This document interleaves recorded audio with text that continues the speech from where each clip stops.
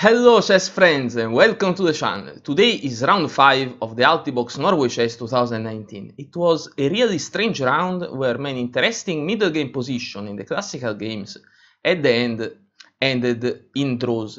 So that's why I chose to show you the Armageddon game between Yu Yangyi and Fabiano Caruana, an exciting game full of crazy moments to watch together. So let's get started.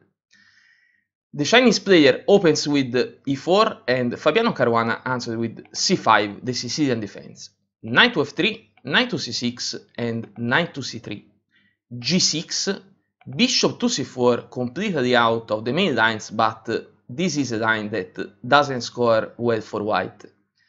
Bishop to g7, short castle for white and a6. a3 to give the a2 square to the bishop e6, d3, knight in g goes to e7 and bishop back to a2. Here comes the central push d5, e captures on d5, e recaptures on d5 and bishop to g5. It's true that he's pinning the knight but it's already a bit of an inaccuracy, much better rook to e1. h6, bishop back to h4, g5, bishop to g3 and after short castle black is already better.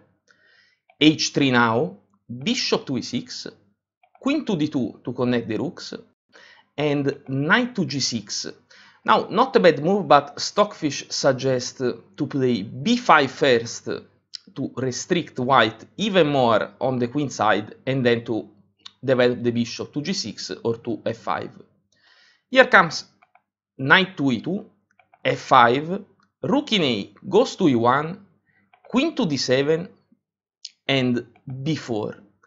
f4 now against the bishop, bishop back to h2, c captures on b4, a captures on b4, and king to h8, played by Caruana, this is an inaccuracy. Instead of king to h8, here it was time to play g4 black, uh, sorry, white must capture with h pawn, bishop recapture, king to h1 is the best move, bishop captures on g3, the g pawn recapture, the castle is completely ruined and it's already minus 2 for black. Let's go back to the game. After king to h8, c3, rook in a goes to d8 and king to h1. Bishop to f5, and here knight in e goes to d4 attacking the bishop. Here comes rook in f goes to e8 and this is a terrible mistake because black must capture this knight because the light square bishop uh, is too much important in this position and uh, too much important for black also to ruin the pawn structure. In fact, after rook in f goes to e8, Yu Yangyi captures the bishop with knight captures on f5. The queen recaptures, but white is already much better. d4 now, queen back to f7 and bishop to b1. Rook captures on e1, rook recaptures and rook to e8. Bishop to g1 to try to find in future a better diagonal for the bishop that on h2 is completely restricted. Rook captures on e1 and a good recapture, knight recaptures on e1, the idea is to relocate the knight on d3. Knight in c goes to e7, here comes queen to d3, and this is a mistake because with one move, white just gave the e file to the black uh, queen, and now with the queen on d3, he can't develop the knight to d3, and all the advantage is lost. Queen to e6, attacking the knight, knight back to f3, and bishop to f6, the game is completely equal. Knight to e5, bishop captures on e5, d recaptures, and queen captures on e5. f3 now, queen to e1 pinning the bishop, the light square bishop moves to c2, here king to g7 and c4. d captures on c4, the queen recaptures on c4, and knight to h4. Watching g2 is uh, an inaccuracy at best because uh, the knight is on the rim and uh, this g2 square can be protected more or less. It will be difficult to find a solution with this attack. Here comes queen to d4 we check, king to f7, bishop to b3 we check, king to e8, and queen to d6. Knight in h goes back to f5 against the queen is another mistake because the queen can move away with check. Let's watch another idea.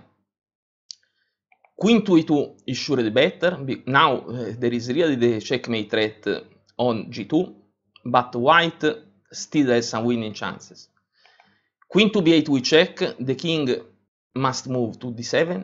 Here comes queen captures on b7 we check, king to e8, queen to a8 we check, king to d7 again, queen to a7 we check. Now the queen found the way to go back, king to e8, queen to f2, the queen must be changed, queen captures, bishop captures, and after knight to c6, attacking the pawn um, with the white, with the, the bishop pair, still white has some winning chances, we must understand if in a blitz game these chances are enough to try to win the game. Anyway, going back to our game, knight mm, moves back to f5 against the queen, but we said the queen moves away with check. Queen to b8 we check, king to d7, queen captures on b7 we check, and king back to d8. Bishop to c4, knight to c8, and bishop captures on a6 wins the pawn, but uh, this is an inaccuracy. Going back one move, much stronger is queen to d5 we check, forking the knight, the knight must move back to d6. Now queen to a5 we check, king to d7, when the bishop captures, now these two pieces are protecting the strong pass pawn and uh, it's plus 3. So let's go back to our game. We said bishop captures on a6. Knight in c goes to d6 attacking the queen. Queen back to a8 we check and king to e7. Bishop to d3, knight to e3, queen to a7 we check again, king to e6 and queen back to a2 we check. King to d7, b5 now, queen to d1 attacking the bishop and bishop back to e2 supported by the queen against the black queen on d1. Caruana moves the king to e1. This is not the best move, but I must tell you that it was really difficult to find with so little time the right maneuver. But still, let's watch it together. Bishop to e2 attacking the queen, but black doesn't need to move the queen away. Knight in d moves to f5, improves the position of the knight and tactically defends the queen, because if now bishop captures on d1, it's checkmate in 2. Knight to g3 we check, king to h2 the only move, and knight to f1 is checkmate. So let's go back. After bishop to e2, Caruana of course doesn't find in some seconds this idea, queen to e1, white is still better, and bishop to d3. Queen to d1 again, queen to e2, trying to exchange the queens, queen to c1, protecting the knight, king to h2, h5, bishop to f2, king to c7 because the king now is marching near the pass pawn, queen to e1 again trying to change the queens but the queen moves to c5 near the pawn and from where she can still defend the knight, king to g1, king to b6 so everything now against the pass pawn and queen to a1, knight captures on b5, queen to b2 Pinning the knight, king to c6 breaks the pin and here is the first critical moment of the game. Yu Yangyi simplifies the position with queen captures on b5 we check, but this is a terrible mistake, a total miscalculation. The black king looks much far from the pawn structure on the king side, but he will move back just in time. Let's watch. Queen recaptures on b5, bishop captures we check, king captures. Now bishop captures on e3 and f captures on e3.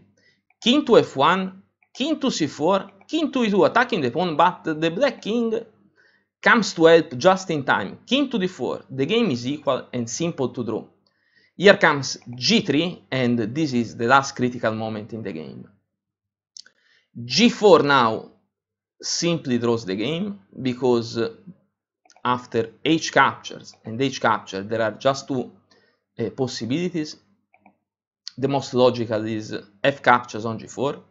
Here comes king to e4, king to f1, king to e5 because of course even if these are double pawns they they work like uh, uh, the connected pass pawns so the king can't move now to f3 or this pawn will, will promote so here g5 king to f5 king to e2 king captures king captures and this is a theoretical draw because the black king is occupying the key squares in front of the pawn if we go back after g4, h captures, h captures, also f4 doesn't work because again there is king to e4, king to e1, king to f5, king to e2, again king to e4, if king to f1, also king to f3 now is okay because after f5, king captures, f6, king to h2, controlling the promotion square, f7,